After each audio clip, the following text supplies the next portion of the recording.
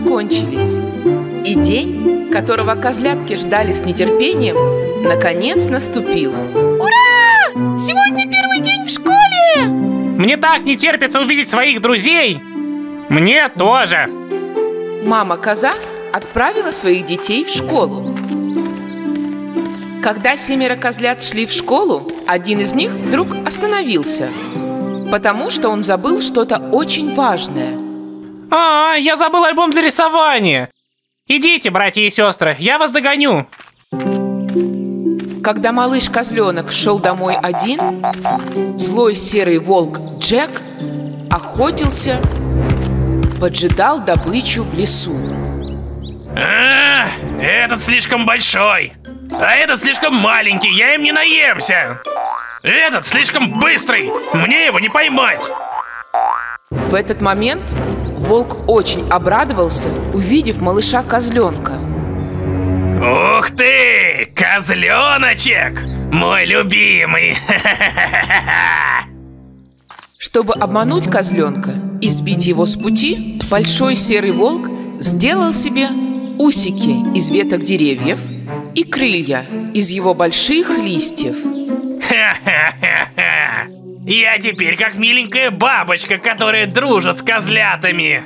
Пойду-ка я теперь обхитрю этого козленочка и съем его с большим аппетитом. Козленок уже почти вошел в сад своего дома, но вдруг он увидел большого серого волка прямо перед собой. А? Т -т -т Ты? Ты злой волк Джек! Помогите! Нет, нет, я не волк. Я бабочка. Погляди, разве у волков есть такие усики?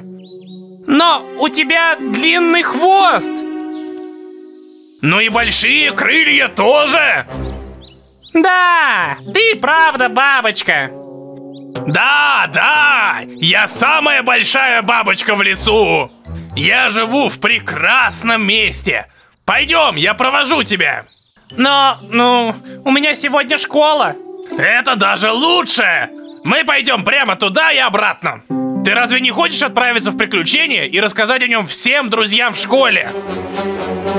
Большой серый волк и козленок уходили все дальше и дальше в лес. В то время как у других козлят шел урок рисования.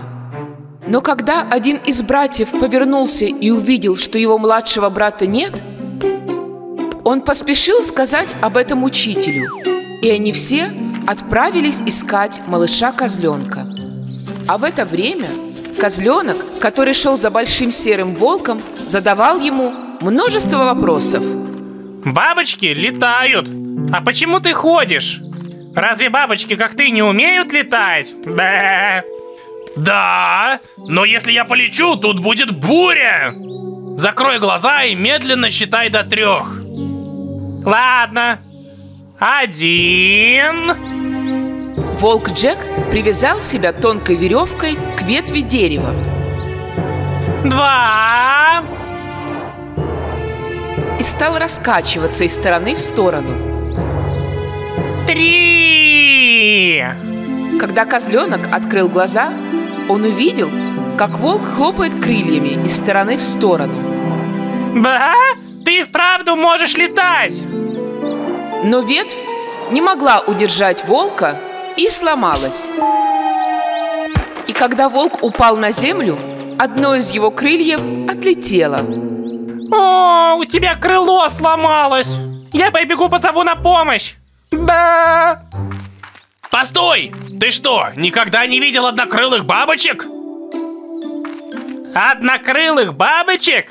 Ба! Они живут в потайных местах в лесу. Пойдем, следуй за мной. Злой серый волк привел козленка в место в лесу, где было много упругих листьев. Волк взобрался на один из листьев, подпрыгнул и взлетел в воздух. Козленок, наблюдавший за волком, был зачарован.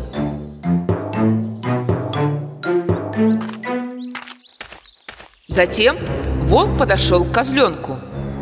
Он хотел съесть его прямо сейчас. Но в этот момент прилетела ворона и уселась прямо на один из усиков на голове волка. Ворона! Помогите! Я очень сильно не люблю ворон! Прочь! Эй! Брысь! Волк быстро тряс головой, и ворона схватила один из усиков и улетела. А, ворона забрала твой усик. Что же теперь будет? В мире также есть бабочки с одним крылом и одной антенкой, козленочек. Что? Правда? Да, давай я отведу тебя в пещеру, где они живут, и ты увидишь все своими глазами. Да, почему бы и нет? Да, мне это очень интересно. К тому же, каждый, кто зайдет в эту пещеру, сможет летать. Что? Я тоже хочу летать! Очень круто! Когда братья и сестры искали козленка по всему лесу, они нашли сломанную ветку и порванный лист на земле. Лист сорван и ветка сломана. Кто мог это сделать лесу? Когда учитель увидела огромные следы на земле, она сразу поняла, что большой серый волк сделал это, и что козленок был в опасности. Она придумала план, чтобы спасти его. Как только козленок вошел в логово, злой и серый волк Джек снял с себя усик и крыло и отбросил их в сторону. Малыш-козленок очень испугался, увидев прямо перед собой волка. Спасите! Ты и вправду большой злой волк! Вскоре учитель и козлята пришли в жилище волка и спрятались по обе стороны от входа. Перед выходом учитель натянула липкую ленту, которой она пользовалась в классе. Затем она попросила козлят потанцевать перед входом в пещеру.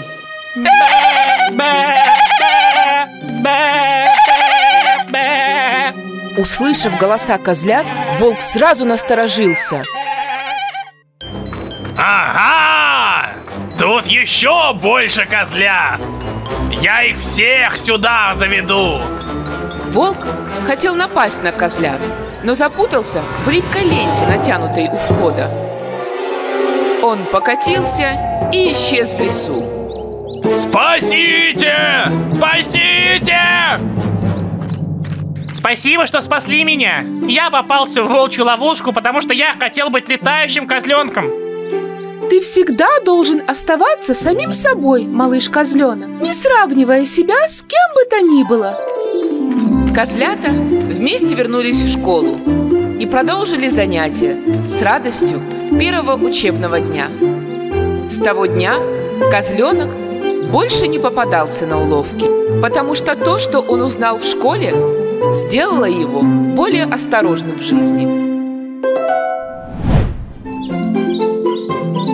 Так как она никогда не любила читать, она построила из всех книг в доме большую башню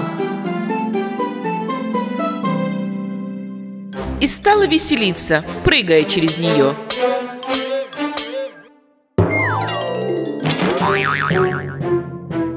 Ее мама увидела это и сделала Златовласке замечание.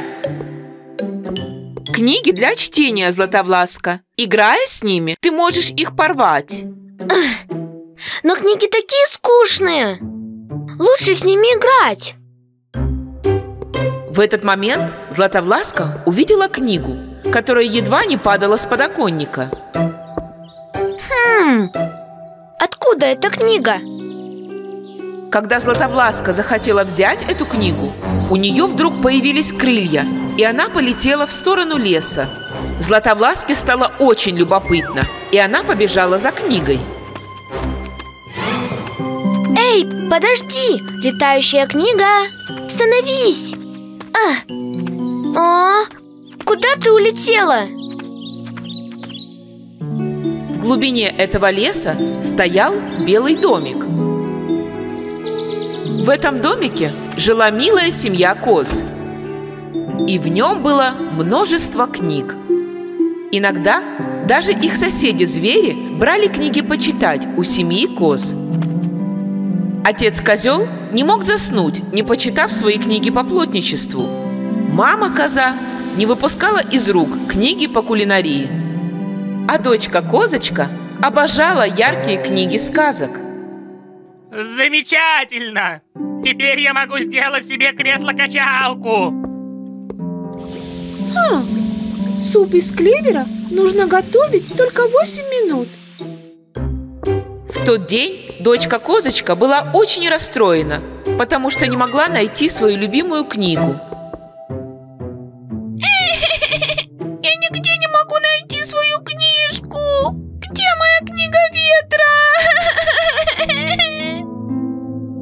Может быть, твоя книга отправилась на прогулку по лесу, моя козочка? Семья коз пошла поискать книгу ветра на лесной тропинке. А в это время Златовласка очень разволновалась, потому что она заблудилась в лесу. Как я теперь попаду домой? И книгу я тоже не нашла. О, И вдруг книга ветра, как бабочка, оказалась прямо у нее за спиной. Златовласка уже почти поймала книгу, но она улетела к дому семьи коз.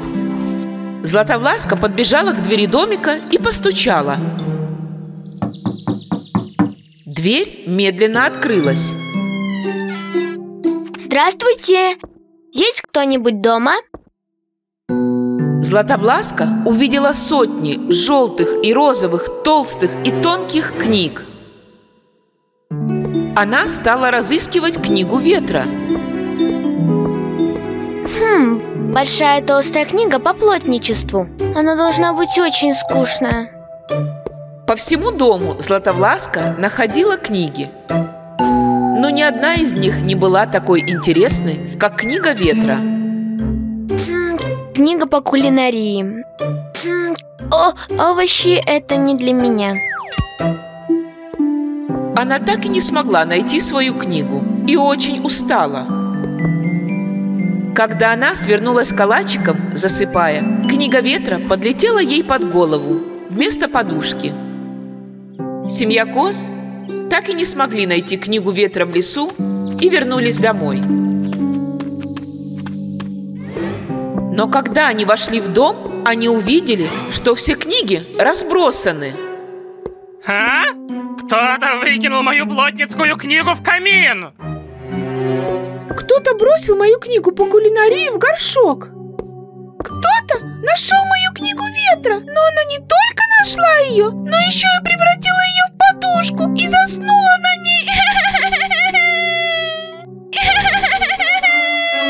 Когда маленькая козочка расплакалась, ее мама и папа сразу же подошли к ней. Они очень удивились, увидев спящую в уголке Златовласку. Что это за человек? И почему она разбросала наши книги? Посмотрите на эти смятые страницы. От плача козочки Златовласка проснулась. Я... О, о, я Златовласка. А, ну... Не бойся, милая девочка, мы тебя не обидим. Я просто искала эту летающую книгу ветра. Извините, что вторглась в ваш дом. Эта книга в твоей руке моя. Я никому ее не отдам. О, о, но мне в первый раз захотелось почитать книгу. Козочка была очень упрямой, но она очень удивилась, встретив кого-то, кому книга ветра показала свои крылья. Хм, ни одному ребенку до сих пор не удавалось увидеть, как эта книга летает. Похоже, она выбрала тебя. Оставь ее себе. Это мой подарок. Златовласка была вне себя от счастья. Она сразу же стала читать первые строки книги ветра. В этот момент все книги в доме взлетели и вернулись на свои места. А, а другие книги в доме тоже волшебные? В книгах нет волшебства, Златовласка. Но у нашего воображения, которое растет благодаря книгам, есть волшебство. Уже темнеет, Златовласка. Давай отведем тебя домой. Твоя мама, наверное, очень волнуется. Но мы еще не прочитали остальные книги. Никто не может прочитать столько книг за один день. Ты можешь приходить к нам, когда захочешь, чтобы почитать. Семья Коз отвела Златовласку к ее саду и попрощалась с ней. Златовласка пронеслась мимо мамы, улеглась на пол и сразу стала читать свою волшебную книгу. Златовласка, где ты так долго была? Я гонялась за летающей книгой, мамочка. А книги разве летают? Да! Но на самом деле они не летают, но в наших мечтах может случиться что угодно. С того дня Златовласка и Козочка стали друзьями по чтению. Иногда они обменивались книгами. Иногда они встречались, чтобы почитать вместе и помечтать. Так двое друзей узнали, что волшебство книг можно узнать, мечтая. И однажды мечты из книг становятся реальностью.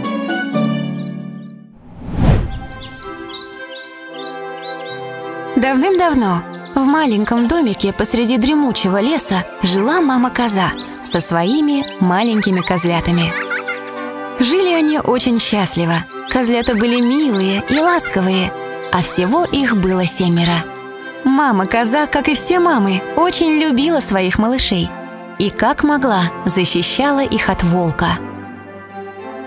Однажды собралась коза за пропитанием для своих козлят, а перед уходом собрала их вместе и строго наказала.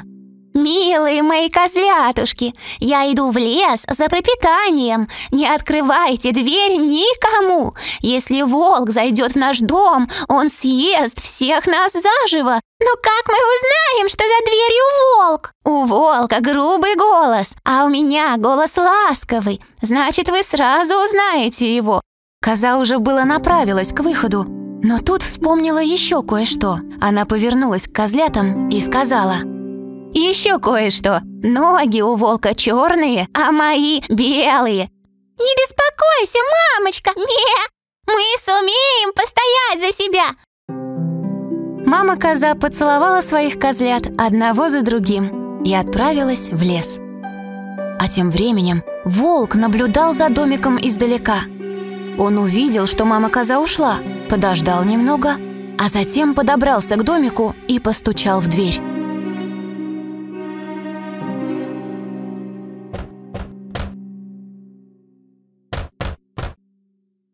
Ме, кто это? Козлятки, откройте дверь, я ваша мама, принесла для вас вкусную еду. Но маленькие козлятки сразу распознали грубый голос волка они закричали сквозь закрытую дверь. «Ты не наша мама! Ее голос нежный и красивый! Ты волк, ты нас не перехитришь!»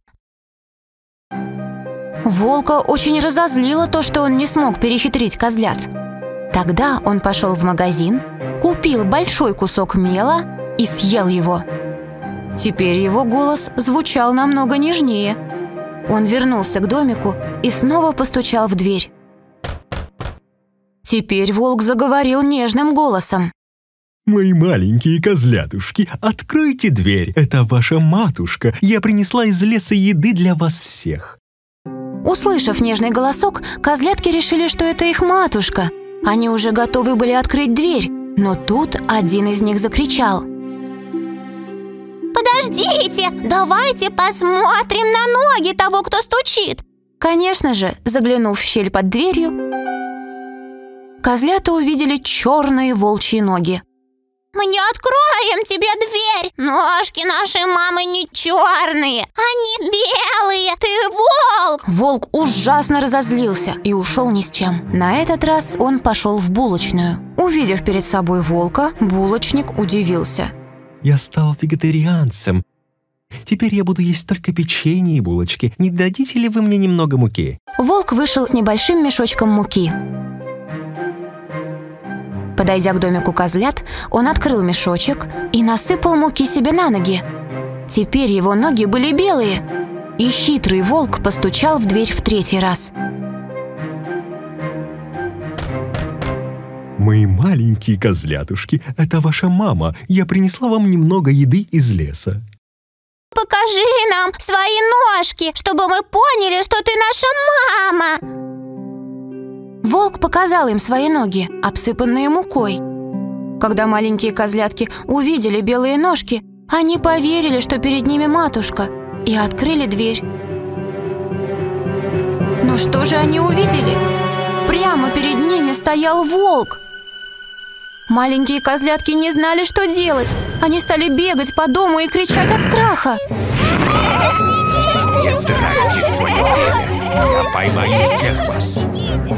Один из маленьких козляток спрятался под стол, другой — под кровать, третий залез в печь, четвертый укрылся на кухне, пятый прыгнул в шкаф, шестой схоронился за шторой, седьмой малыш залез в огромные часы на стене. Но хитрый волк был проворен и поймал их всех одного за другим, где бы они ни прятались. Идите сюда, не убегайте. Я сказал, стойте!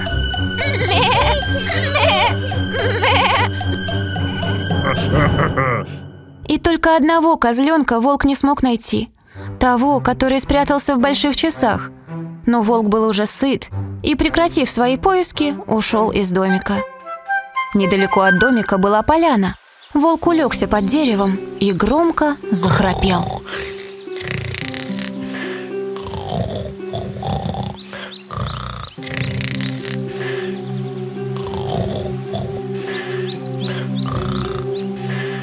Через некоторое время мама коза вернулась домой. Увидев открытую дверь, она поняла, что случилось что-то плохое, и закричала. Ме, козлятки! Сойдя в дом, мама коза пришла в ужас. Столы и кресла были перевернуты, шторы разорваны, подушки, просто не одеяло валялись на полу. Мама коза стала искать по дому своих маленьких козлят, но не могла их нигде найти. Она звала их по именам одного за другим, но никто не отвечал. Наконец, она позвала по имени самого младшего козленка и вдруг услышала тоненький голосок. Мамочка, я внутри дедушкиных часов. Мама коза подбежала к дедушкиным часам и достала оттуда козленочка. Маленький козленок плача рассказал о том, что приключилось с его братьями. Волк пришел к нам, замаскировав свои лапы, изменив свой голос. Он съел всех моих братьев.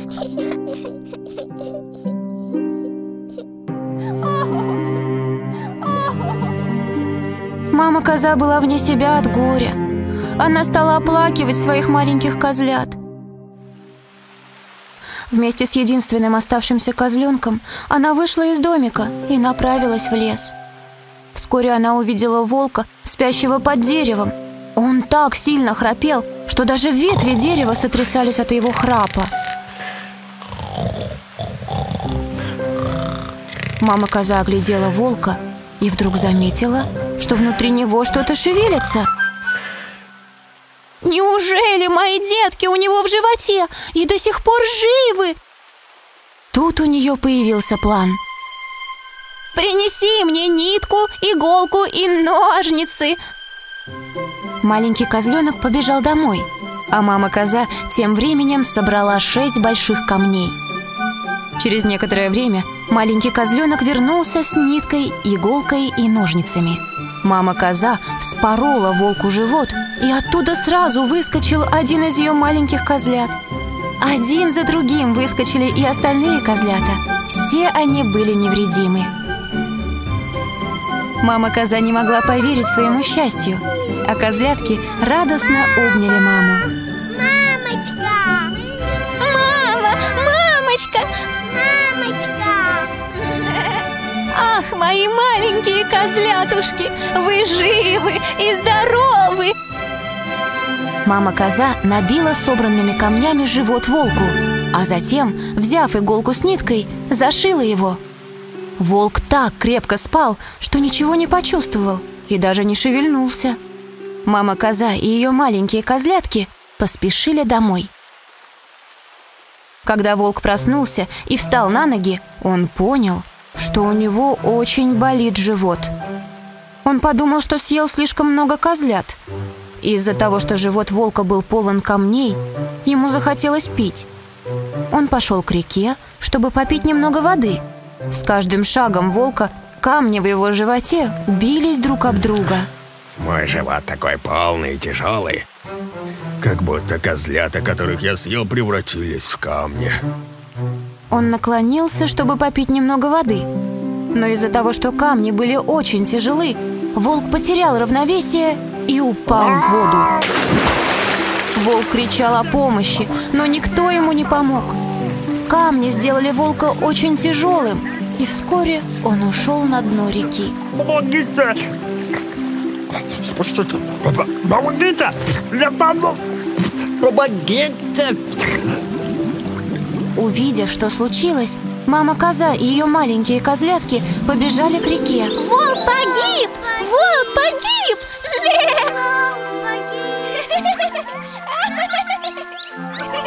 С этого дня коза и ее козлята больше ничего не боялись и жили долго и счастливо в своем уютном домике в лесу.